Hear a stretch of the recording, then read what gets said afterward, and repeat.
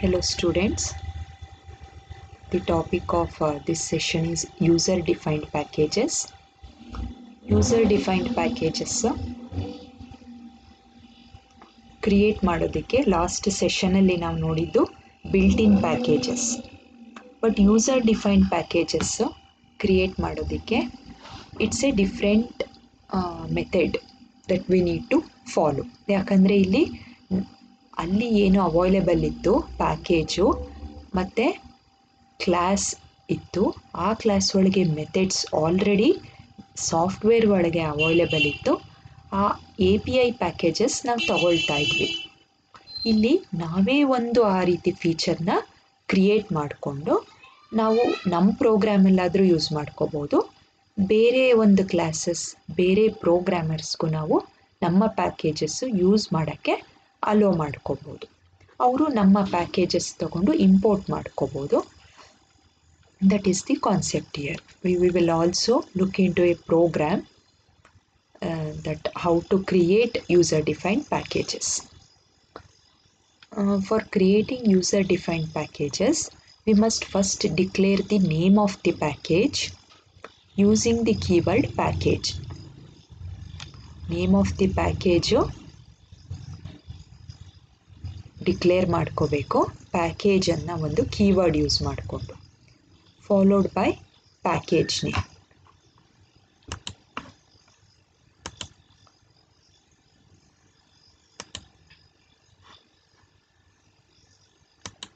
see here this is the example uh, for declaring user defined packages.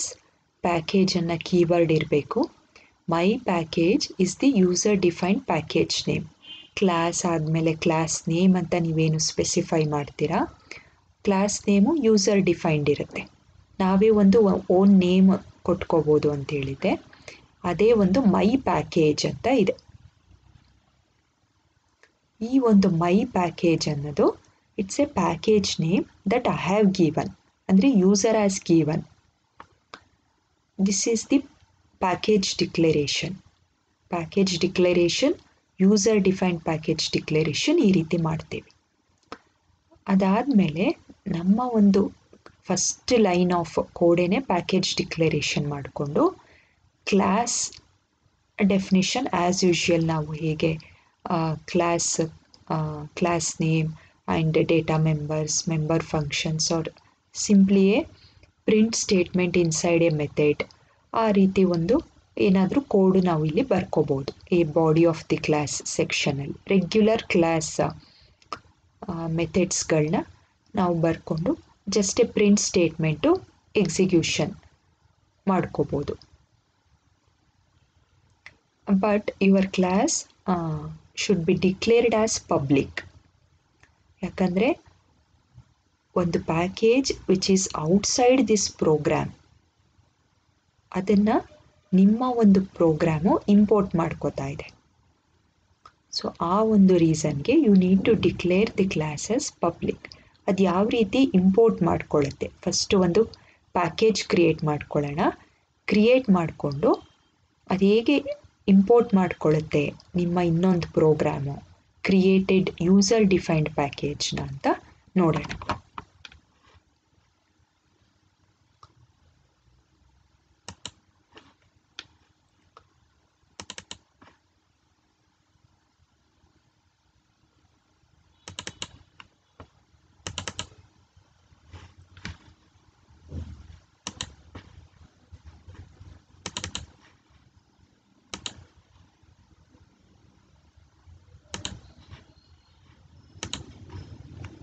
You can observe here.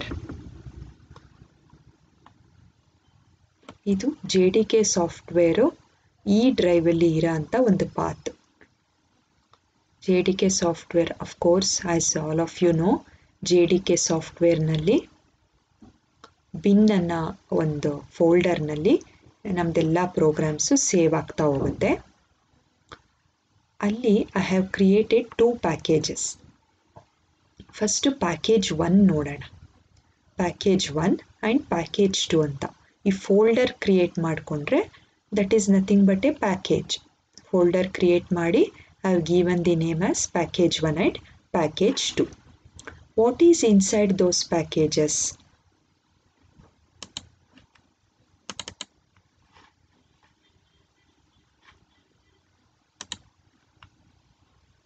see here. Inside package 1 you can observe the path here. Class A ಅಂತ ಒಂದು file ಇದೆ Java file ಇದೆ. Java file ನಾನು compile ಮಾಡಿದ ಮೇಲೆ with respect to class A file as all of you know from the chapter one Java virtual machine ನೀವು Java C command ಕೊಟ್ಟ ತಕ್ಷಣ ಒಂದು ಕ್ಲಾಸ್ ಫೈಲ್ನ ಆಟೋಮೆಟಿಕ್ಕಾಗಿ ಕ್ರಿಯೇಟ್ ಮಾಡುತ್ತೆ ನಿಮ್ಮ ಒಂದು ಜಾವಾ ಕಂಪೈಲರು ಆ ಕ್ಲಾಸ್ ಫೈಲ್ನಲ್ಲಿ ವರ್ಚುಯಲ್ ಕೋಡ್ ಇರುತ್ತೆ. ಅದನ್ನು ನಿಮ್ಮ ಇಂಟರ್ಪ್ರೇಟರು ಜಾವಾ ಕಮ್ಯಾಂಡ್ ಕೊಟ್ಟಾಗ ಆ ಒಂದು ವರ್ಚುಯಲ್ ಕೋಡ್ನ ಇಂಪ್ಲಿಮೆಂಟ್ ಮಾಡುತ್ತೆ. ಸೊ, ಜಾವಾ ಸಿ ನಾನು ಕಮ್ಯಾಂಡ್ ಕೊಟ್ಟು ಕ್ಲಾಸ್ ಫೈಲ್ ರನ್ ಮಾಡಿದಾಗ ಈ ಒಂದು ಕ್ಲಾಸ್ ಫೈಲು ಕ್ರಿಯೇಟ್ ಆಗಿದೆ. ಸೊ, ಆ ಒಂದು ಕ್ಲಾಸ್ ಫೈಲು ನಾನು ಟೈಪ್ ಮಾಡಿರೋಂಥ class A file, Java file, class file ಎರಡೂ ಪ್ಯಾಕೇಜ್ ಒನ್ನಲ್ಲಿ ಸ್ಟೋರ್ ಆಗಿದೆ. it's a simple program which have taken as an example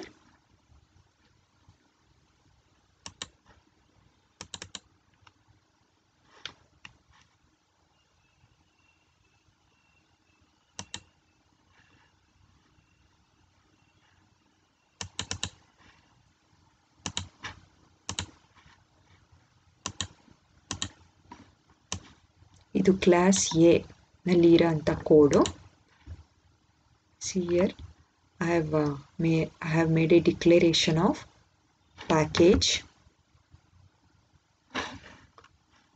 user defined package declaration ಮಾಡಿದ್ದೀನಿ. ಬಿಲ್ಟ್ ಇನ್ ಪ್ಯಾಕೇಜ್ ಆದರೆ ಇಂಪೋರ್ಟ್ ಕೀವರ್ಡ್ ಯೂಸ್ ಮಾಡ್ತೀವಿ. It's a user defined package package ಅನ್ನೋ ಒಂದು keyword ಇದೆ. Package one ಅಂತ ನಾನೇ ನೇಮ್ ಸ್ಪೆಸಿಫೈ ಮಾಡಿದ್ದೀನಿ. Whatever was in the text book ಆ ಒಂದು ಪ್ಯಾಕೇಜ್ ನೇಮ್ ಕೊಟ್ಟಿದ್ದೀನಿ. Public see here as I already told from one of the P P T slide ಕ್ಲಾಸ್ನ ಪಬ್ಲಿಕ್ ಅಂತ ಡಿಕ್ಲೇರ್ ಮಾಡ್ಕೋಬೇಕು.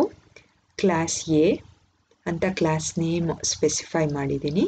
I have written some code here display method ಇದು public ಆಗಿ declare ಆಗಿರಬೇಕು. Void display A ಅಂತ ನೀವು ಬರೆದ್ಬಿಟ್ಟು ಸಮ್ ಕೋಡ್ ಬರೆಯೋದು ಆ ರೀತಿ. That is not allowable for both the class and the code inside it need to declare it as a public public access specifier ಬೇರೆ ಒಂದು ಪ್ಯಾಕೇಜಲ್ಲಿರೋ ಅಂಥ ಕೋಡ್ನ ನೀವು ತಗೊಳ್ಳೋಕ್ಕೆ ಅಲೋ ಮಾಡುತ್ತೆ. ಸೊ ಈ ಪ್ಯಾಕೇಜಲ್ಲಿ ಏನಿದೆ?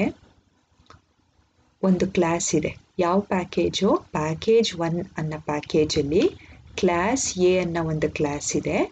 ಆ ಕ್ಲಾಸಿ ಒಳಗೆ ಡಿಸ್ಪ್ಲೇ ಎ ಅನ್ನೋ ಒಂದು ಮೆಥಡ್ ಇದೆ.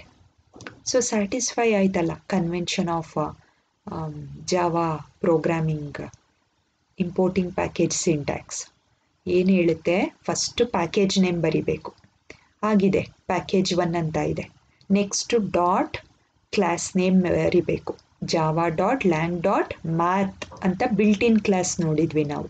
ಪ್ರೀವಿಯಸ್ ಸೆಷನಲ್ಲಿ ಇಲ್ಲಿ ಮ್ಯಾಥ್ ರೀಪ್ಲೇಸ್ಮೆಂಟ್ ಆಗಿ ಒಂದು user defined class class A ಅಂತ ಇದೆ. Dot display A method so it's a simple four line code package name ಇದೆ ಕ್ಲಾಸ್ ನೇಮ್ ಇದೆ ಪಬ್ಲಿಕ್ ಕ್ಲಾಸು ಅದರೊಳಗೆ ಒಂದು ಪಬ್ಲಿಕ್ ಮೆಥಡ್ ಇದೆ.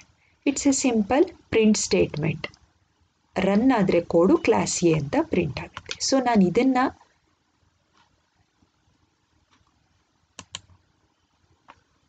ಕಂಪೈಲ್ ಮಾಡಿಕೊಂಡಾಗ I have got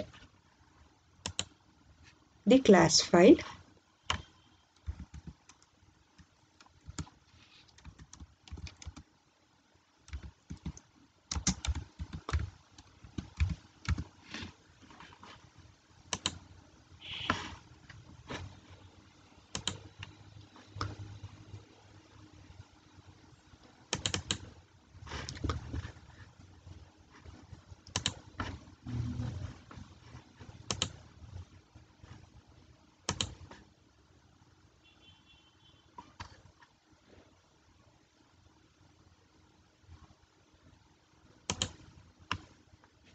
next package two ನೋಡೋಣ. Package two ಒಳಗೆ ಏನಿದೆ? ಕ್ಲಾ ಎಗೈನ್ ಪ್ಯಾಕೇಜ್ ಒನ್ನಲ್ಲಿ ಕ್ಲಾಸ್ ಎ ಅನ್ನೋ ಒಂದು ನಾನು ಜಾವಾ ಕೋಡ್ ಟೈಪ್ ಮಾಡಿರೋ ಫೈಲು ಅದಕ್ಕೆ ಕಂಪೈಲ್ ಮಾಡಿದಾಗ I got class A class file ಅಂತ. ಪ್ಯಾಕೇಜ್ ಟೂನಲ್ಲಿ ಕ್ಲಾಸ್ ಬಿ ಅನ್ನೋ ಒಂದು ಫೈಲು ಎಗೈನ್ ಇಲ್ಲೂ ಪಬ್ಲಿಕ್ ಕ್ಲಾಸ್ ಇರುತ್ತೆ ಪಬ್ಲಿಕ್ ಮೆಥಡ್ ಇರುತ್ತೆ. ಇದನ್ನು ಕಂಪೈಲ್ ಮಾಡಿದಾಗ ಒಂದು ಕ್ಲಾಸ್ ಫೈಲ್ ನಮಗೆ ಸಿಕ್ಕಿದೆ. ಇದೆರಡೂ ಬಿನ್ ಫೋಲ್ಡರಲ್ಲಿ ಎರಡು ಪ್ಯಾಕೇಜಸ್ಸನ್ನು ನಾನು ಸ್ಟೋರ್ ಮಾಡಿ ಇಟ್ಟಿದ್ದೀನಿ.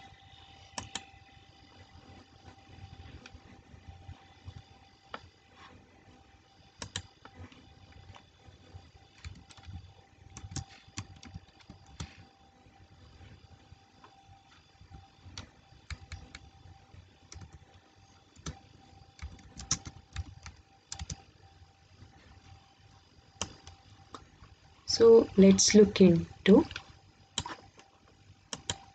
the code of class B. Class B ಒಳಗೆ ಏನಿದೆ ನೋಡೋಣ ಅದು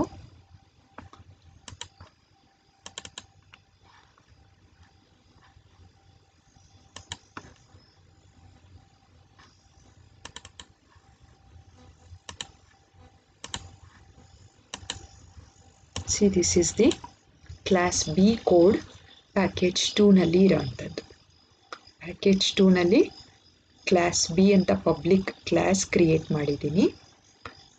ಅಲ್ಲಿ ಜಸ್ಟ್ ಸಿಂಪಲ್ಲಾಗಿ ಒಂದು ಮೆಥಡ್ ಡಿಶ್ ಇತ್ತು ಅಷ್ಟೇ ಡಿಸ್ಪ್ಲೇ ಎ ಅನ್ನೋ ಮೆಥೆಡು ಅದರೊಳಗೆ ಕ್ಲಾಸ್ ಎ ಅಂತ ಒಂದು ಪ್ರಿಂಟ್ ಸ್ಟೇಟ್ಮೆಂಟ್ ಇತ್ತು. ಇಲ್ಲಿ I have declared one variable and one method M equal to ten ಇಂಟಲ್ಲಿ declare ಆಗಿದೆ.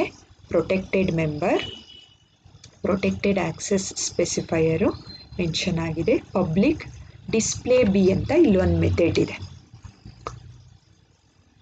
Display B method contains two print statements ಒಂದು ದಿ ವ್ಯಾಲ್ಯೂ ಆಫ್ ದಿ ವೇರಿಯಬಲ್ನ print ಮಾಡುತ್ತೆ. ಒಂದು statement M equal to ten ಅಂತ. ಇನ್ನೊಂದು print statement class B ಅಂತ print ಮಾಡುತ್ತೆ. This is the concept class ಎನಲ್ಲಿ display A ಅನ್ನೋ ಮೆಥೆಡು ಕ್ಲಾಸ್ ಎ ಅಂತ ಮಾತ್ರ ಪ್ರಿಂಟ್ ಮಾಡ್ತಿತ್ತು ಈ ಒಂದು ಪ್ಯಾಕೇಜಲ್ಲಿ ಕ್ಲಾಸ್ ಬಿ ಅನ್ನೋ ಕ್ಲಾಸು ಒಂದು variable value M equal to ten ಮತ್ತು ಕ್ಲಾಸ್ ಬಿ ಎರಡು ಪ್ರಿಂಟ್ ಮಾಡುತ್ತೆ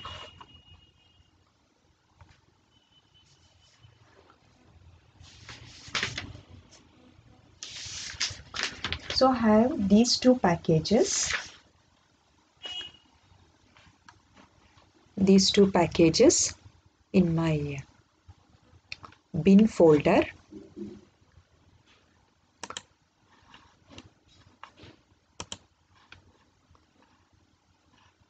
So uh, this is how we create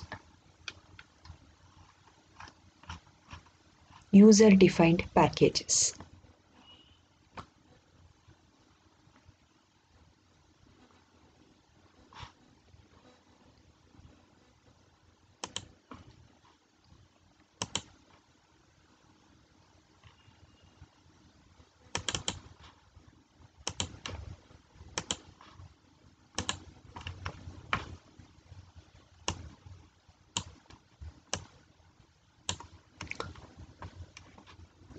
ಎರಡು ಪ್ಯಾಕೇಜು ಬಿನ್ ಫೋಲ್ಡರಲ್ಲಿ ಸ್ಟೋರ್ ಮಾಡಿಕೊಂಡು ನಾನು I am writing. That's not the program run ಮಾಡೋ ಪ್ರೋಗ್ರಾಮ್ ಅಲ್ಲ, ನನ್ನ ಪ್ಯಾಕೇಜ್ ಒಳಗೆ ಇಟ್ಟಿರೋ ಅಂಥದ್ದು. ಏನೋ ಒಂದು ಸಮ್ ಫಂಕ್ಷನಾಲಿಟಿ ಆರ್ ಫೀಚರ್ನ ಪ್ಯಾಕೇಜ್ ಒಳಗೆ ಸ್ಟೋರ್ ಮಾಡಿಟ್ಟಿದ್ದೀನಿ. ಈಗ ರನ್ ಮಾಡೋಕ್ಕೆ ನಾನು code I am going to write the code for running that program package test ಒನ್ನಲ್ಲಿ ಕೋಡ್ ಇಟ್ಕೊಂಡಿದ್ದೀನಿ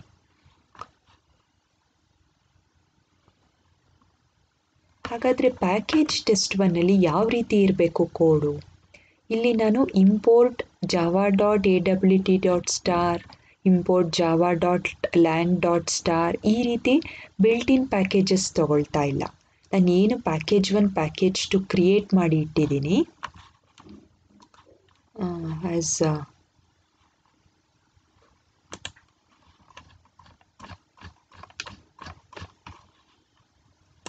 as you have seen here package one package two ಇಲ್ಲಿ ಇರೋಂಥ code class A class B code ಇದೆಯಲ್ಲ, ಈ ಕೋಡನ್ನು ನಾನು ನನ್ನ ಒಂದು ಪ್ರೋಗ್ರಾಮ್ ಪ್ಯಾಕೇಜ್ ಟೆಸ್ಟ್ ಪ್ರೋಗ್ರಾಮಲ್ಲಿ ನಾನು ಇಂಪೋರ್ಟ್ ಮಾಡ್ಕೋತೀನಿ. ನಾನೇ ಪ್ಯಾಕೇಜು ಕ್ರಿಯೇಟ್ ಮಾಡಿಕೊಂಡೆ. ನನ್ನ ಒಂದು ಪ್ರೋಗ್ರಾಮಲ್ಲಿ ನಾನು ಕ್ರಿಯೇಟ್ ಮಾಡಿರೋ ಅಂಥ ಪ್ಯಾಕೇಜ್ನೇ ನಾನು ಇಂಪೋರ್ಟ್ ಮಾಡ್ಕೋತಾ ಇದ್ದೀನಿ.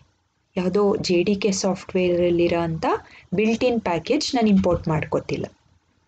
ಇದೇ ರೀತಿ ನಾನು ಈ ಕ್ರಿಯೇಟ್ ಮಾಡಿರೋ ಈ ಪ್ಯಾಕೇಜ್ನ ಇನ್ಯಾವುದೋ ಒಂದು ಮಾಡ್ಯೂಲು ಅಥವಾ ಇನ್ಯಾರೋ ಪ್ರೋಗ್ರಾಮರು ಪ್ರಾಜೆಕ್ಟಲ್ಲಿ ವರ್ಕ್ ಮಾಡ್ತಾ ಇರೋರು ನನ್ನ ಒಂದು ಪ್ಯಾಕೇಜ್ನ ಅವ್ರು ಇಂಪೋರ್ಟ್ ಮಾಡ್ಕೋಬೋದು. ಆ ರೀತಿ ನಾನು ಪ್ಯಾಕೇಜು ಡೆವಲಪ್ ಮಾಡಿ ಇಟ್ಟಿದ್ದೀನಿ ಇದೇ ರೀತಿ ನಿಮ್ಮೆಲ್ಲ ಬಿಲ್ಟ್ ಇನ್ ಪ್ಯಾಕೇಜಸ್ಸು ಡೆವಲಪ್ ಮಾಡಿ ಜೆ ಡಿ ಕೆ ಒಳಗೆ ಇಟ್ಟಿರ್ತಾರೆ. ಅದು ಹೇಗೆ ಒಂದು ಸಿಂಪಲ್ ಎಕ್ಸಾಂಪಲ್ ಅಷ್ಟೇ ಅದು ಹೇಗೆ ಕ್ರಿಯೇಟ್ ಮಾಡೋದು ಅಂತ. So let's look at the code ನಾವು ಯಾವ ಕೋಡ್ ರನ್ ಮಾಡಬೇಕು, ಆ ಕೋಡ್ ಹೇಗಿದೆ ಅಂತ ನೋಡೋಣ.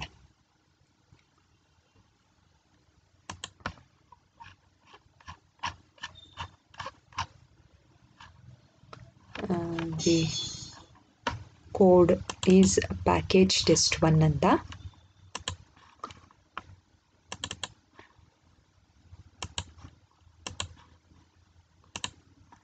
This is the actual code public static void main ಎಲ್ಲಿರುತ್ತೆ?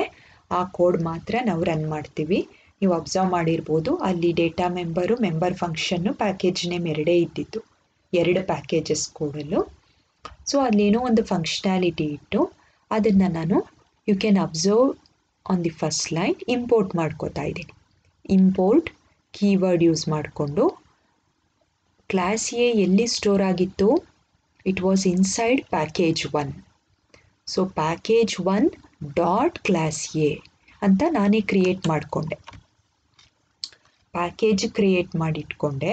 ಪ್ಯಾಕೇಜ್ ಒಳಗೆ ಕ್ಲಾಸು ಮೆಥಡ್ ಎಲ್ಲ ರೆಡಿ ಮಾಡಿ ಇಟ್ಕೊಂಡೆ ಆ ಒಂದು ನಾನೇ ನೇಮೇ ಹೇಳ್ತಿದೆ ಯೂಸರ್ ಡಿಫೈನ್ಡ್ ಪ್ಯಾಕೇಜ್ ನಾನೇ ಕ್ರಿಯೇಟ್ ಮಾಡಿರೋ ಪ್ಯಾಕೇಜ್ನ ನಾನೇ ನಂದು ಇನ್ನೊಂದು ಪ್ರೋಗ್ರಾಮಲ್ಲಿ ಇಂಪೋರ್ಟ್ ಮಾಡ್ಕೋತಾ ಇದ್ದೀನಿ. ಯಾಕಂದರೆ ಅಲ್ಲಿರೋ ಅಂಥ ಏನೋ ಕೋಡು ನನಗೆ ಅವಶ್ಯಕತೆ ಇದೆ ಈ ಪ್ರೋಗ್ರಾಮಲ್ಲಿ ನಾನು ಮತ್ತೆ ಆ ಕೋಡ್ಗೆ ಆ ಒಂದು ಕೋಡ್ ಬರೆಯೋಕ್ಕೆ ನನಗಿಷ್ಟ ಇಲ್ಲ.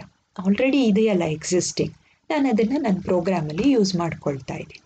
ಸೊ ಅದಕ್ಕೆ import package one dot class A ಅಂತ ಹಾಕ್ಕೊಂಡೆ ಕ್ಲಾಸ್ ಎನಲ್ಲಿ ಏನು ಒಂದು ಕೋಡ್ ಇದೆ, ಅದು ನನ್ನ ಈ ಪ್ರೋಗ್ರಾಮಲ್ಲಿ ರನ್ ಆಗಬೇಕು.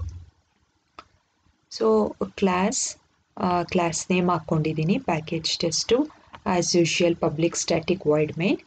Class A class A class A ಎಲ್ಲಿದೆ?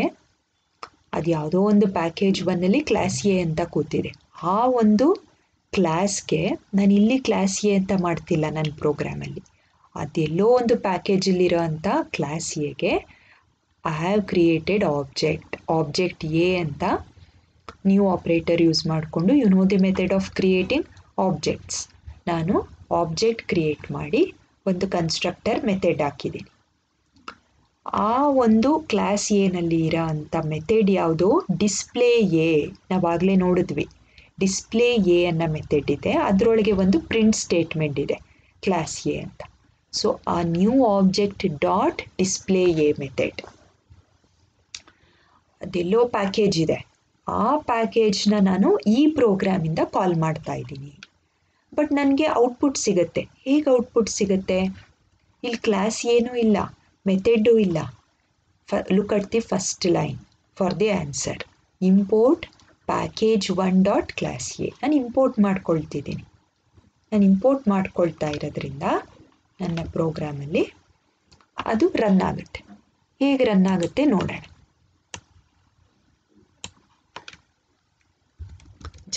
Javac program name is package test1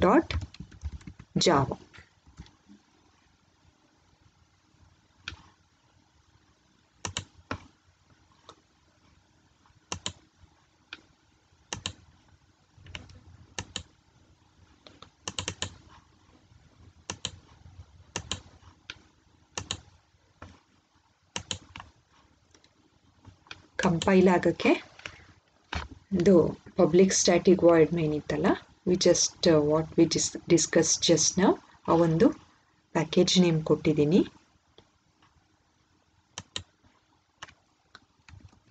Java package test one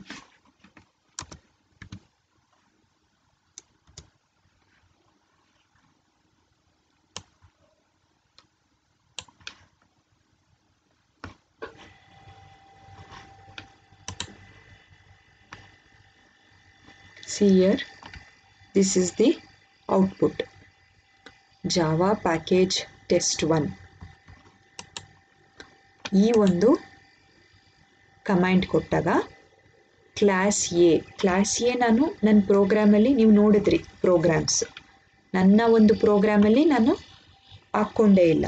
But I have return a line import package one dot class A class A package ಒನ್ನಲ್ಲಿರೋ ಅಂಥ class ಎನ ನಮ್ಮ ಪ್ರೋಗ್ರಾಮಲ್ಲಿ ಹಾಕ್ಕೊಂಡು ನಾವು ಆ ಅಲ್ಲಿ ಇರೋ ಅಂಥ ಒಂದು ಫೀಚರ್ ಅಥವಾ ಪ್ರಿಂಟ್ ಸ್ಟೇಟ್ಮೆಂಟು ನಾವಿಲ್ಲಿ ರನ್ ಮಾಡ್ಕೊಂಡ್ವಿ. ಇದೇ ರೀ, ಇದೇ ಕಾನ್ಸೆಪ್ಟು ನಿಮ್ಮ ಒಂದು ಪ್ರೀವಿಯಸ್ ಸೆಷನಲ್ಲಿ ಡಿಸ್ಕಷನ್ ಮಾಡಿದ ಎ ಪಿ ಐ ಪ್ಯಾಕೇಜಸ್ಗೂ ಅಪ್ಲೈ ಆಗುತ್ತೆ. ಇನ್ನೂ ಒಂದು ಪ್ರೋಗ್ರಾಮ್ ಇದೆ. ಆ ಪ್ರೋಗ್ರಾಮಿಂದ ಸಿಯರ್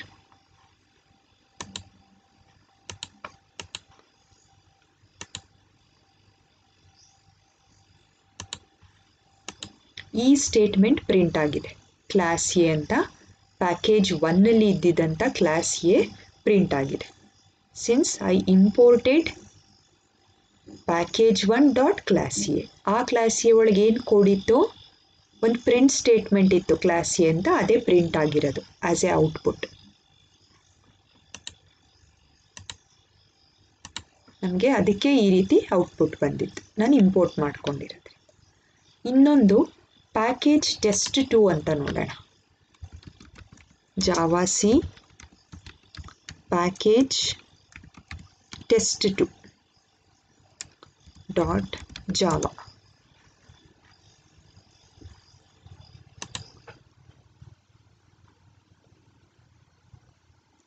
before compiling this program package test two code ಸ್ವಲ್ಪ ಡಿಸ್ಕಷನ್ ಮಾಡೋಣ.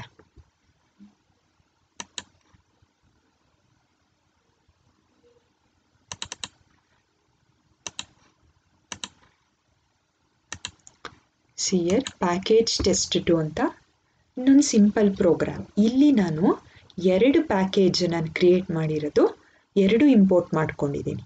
Import package one dot class A import package two dot star package two dot star ಅಂತಂದರೆ dot star represents all the classes and methods present in package two ಏನಿದೆ package two ಒಳಗೆ? Protected int M equal to ten ಅಂತ ಒಂದು variable ಇದೆ. ಇನ್ನೊಂದು ಒಂದು method ಇದೆ. Class B ಅಂತೇನೋ ಪ್ರಿಂಟ್ ಮಾಡ್ತಾ ಇದೆ. ಸೊ ಅದು ಒಂದು ಇಂಪೋರ್ಟ್ ಮಾಡ್ಕೊಂಡಿದ್ದೀನಿ package one dot class A ಅಂತ. ಪ್ಯಾಕೇಜ್ ಒನ್ನಲ್ಲಿರೋಂಥ ಫೀಚರ್ಸು ಪ್ಯಾಕೇಜ್ ಟು ಫೀಚರ್ಸ್ ಎರಡೂ ಇಂಪೋರ್ಟ್ ಮಾಡ್ಕೊಂಡಿದ್ದೀನಿ ನನ್ನ ಈ ಒಂದು ಪ್ರೋಗ್ರಾಮಲ್ಲಿ ಆ ಎರಡೂ ಕ್ಲಾಸಸ್ಗೆ ಅದೆಲ್ಲೋ ಹೊರಗಡೆ ಇದೆ ಔಟ್ಸೈಡ್ ದಿಸ್ ಪ್ರೋಗ್ರಾಮ್ ಅದಕ್ಕೆ ನಾನು ಆಬ್ಜೆಕ್ಟ್ ಎ ಆಬ್ಜೆಕ್ಟ್ ಬಿ ಅಂತ ಎರಡು ಆಬ್ಜೆಕ್ಟ್ಸ್ನ ಕ್ರಿಯೇಟ್ ಮಾಡಿ I am making a call to the methods which is present in that particular package display A method display B method ಅಂತ ಎರಡು ಮೆಥಡು ಈಚ್ ಪ್ಯಾಕೇಜ್ದು class A class ಬಿನಲ್ಲಿದೆ ಅದನ್ನು call ಮಾಡ್ತಿದ್ದೀನಿ outside this program that's why you need this public main function so let's look at the output for this.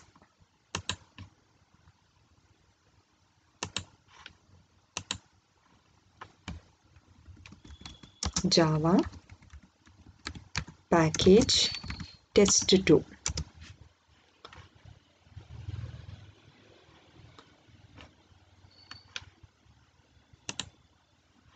see here look at the output of the program we have class A class A ಅನ್ನೋದು ಒಂದು print statement ಒಳಗಿದ್ದಿದ್ದು ಒಂದು line package one class B ಅನ್ನೋ ಒಂದು line package two ಒಳಗಿದ್ದಿದ್ದು ಕ್ಲಾಸ್ದು ಒಂದು line ಅದರ ಜೊತೆಗೆ ಎಂ ಈಕ್ವಲ್ ಟು ಟೆನ್ ಅಂತಲೂ ಒಂದು ಲೈನ್ ಇತ್ತು.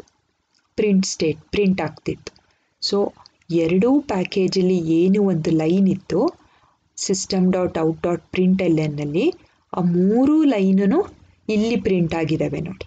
ಈ ಒಂದು ಪ್ಯಾಕೇಜ್ ಟೆಸ್ಟ್ ಟು ಪ್ರೋಗ್ರಾಮಲ್ಲಿ. ಕ್ಲಾಸ್ ಏನೂ ಇಲ್ಲ ನನ್ನ ಪ್ರೋಗ್ರಾಮಲ್ಲಿ. ಪ್ಯಾಕೇಜ್ ಟೆಸ್ಟ್ ಟೂನಲ್ಲಿ. ಕ್ಲಾಸ್ ಬಿನೂ ಇಲ್ಲ. ಎಂ ವ್ಯಾಲ್ಯೂನೂ ಇಲ್ಲ. ಬಟ್ ಹೇಗೆ ಪ್ರಿಂಟ್ ಆಯಿತು ಅಂದರೆ, import package one dot class A ಅಥವಾ dot star, import package two dot star ಅಂತ ನಾನು ಇಂಪೋರ್ಟ್ ಮಾಡಿಕೊಂಡಿದ್ದರಿಂದ ಇದು ಪಾಸಿಬಲ್ ಆಯಿತು. So this is how we create packages user defined packages ಇದೇ ರೀತಿ J D K software develop ಮಾಡಿರೋರು ಎ ಡಬ್ಲ್ಯೂ ಟಿ ಅನ್ನೋ ಒಂದು ಪ್ಯಾಕೇಜಲ್ಲಿ ಫಾಂಟ್ ಅನ್ನೋ ಒಂದು ಕ್ಲಾಸಲ್ಲಿ ಅದರದ್ದೇ ಆದ ಒಂದು ಮೆಥಡ್ಸ್ಗಳು ಅಪ್ಲೈಟ್ ಪ್ಯಾಕೇಜಲ್ಲಿ ಅದರದ್ದೇ ಆದ ಒಂದು ಮೆಥಡ್ಸು ಪೇಂಟ್ ಮೆಥಡ್ ಈ ರೀತಿ ಅವರು ಡೆವಲಪ್ ಮಾಡಿರ್ತಾರೆ. ಅದನ್ನು ನಾವು ಇಂಪೋರ್ಟ್ ಮಾಡಿಕೊಂಡು ಯೂಸ್ ಮಾಡ್ಕೊಳ್ತೀವಿ. ಅದೇ ರೀತಿ ನಿಮ್ಮ ಒಂದು ಓನ್ ಫಂಕ್ಷನಾಲಿಟಿ ನಿಮ್ಮ ಒಂದು ಐಡಿಯಾಸ್ನ ಪ್ಯಾಕೇಜಸ್ಸಲ್ಲಿ ಹಾಕಿ ಅದನ್ನು ನಿಮ್ಮ ರನ್ನಿಂಗ್ ಪ್ರೋಗ್ರಾಮಲ್ಲಿ ಇಂಪೋರ್ಟ್ ಮಾಡ್ಕೋಬೋದು this is the concept of user defined packages thank you all